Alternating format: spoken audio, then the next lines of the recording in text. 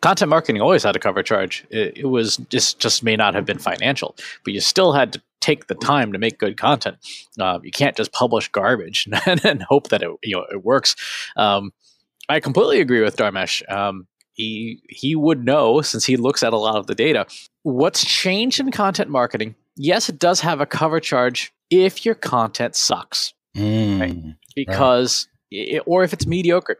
Here's the reality you have a, a supercomputer literally in your pocket with access to a million or two million different channels, every app in the App Store, the YouTube, and all this stuff.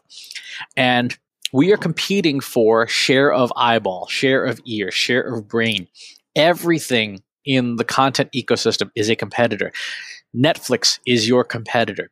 The president of the United States is your competitor anybody who's taking time away from a consumer's day is your competitor. And the challenge for every marketer is you can't just create stuff anymore. You have to distribute it, you have to activate it, and you have to promote it. And if you don't have great content to, that inspires people to do those things on your behalf, then yeah, you got to get out the credit card and swipe it a whole bunch of times to, to pay for it. That said, if what you're creating is of actual value, the content charge is a lot lower.